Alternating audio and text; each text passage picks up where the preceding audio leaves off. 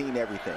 So these guys know how to navigate their teams and these players through these kind of situations. Even when it doesn't look good, they know all we need to do is go out and do our job. Hold. Is that a catch? Go ahead and say. Now you can say it, Matt. Earlier you jumped in. Lawan it was, Winningham.